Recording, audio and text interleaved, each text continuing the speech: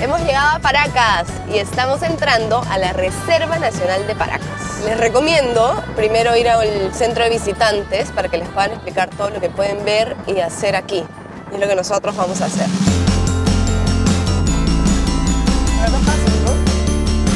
Museo de Sitio Julio C.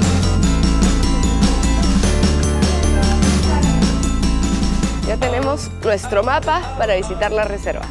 La Reserva Nacional de Paracas es un área protegida del Perú. Su clima, corrientes marítimas y suelo la hacen propicia para la conservación de distintas especies de aves, peces y mamíferos. Vamos para allá a ver las hermosas aves. Muy cerca al Museo de Sitio se encuentra el Mirador de Aves de Paracas.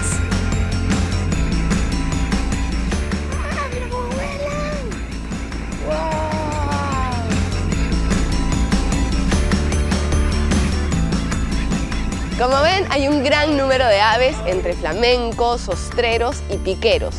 Y sí es verdad que quisiéramos acercarnos para verlas mejor, pero ya que esta es un área natural protegida y zona de reproducción y de alimentación de las aves, debemos respetar las normas para así respetar a las especies.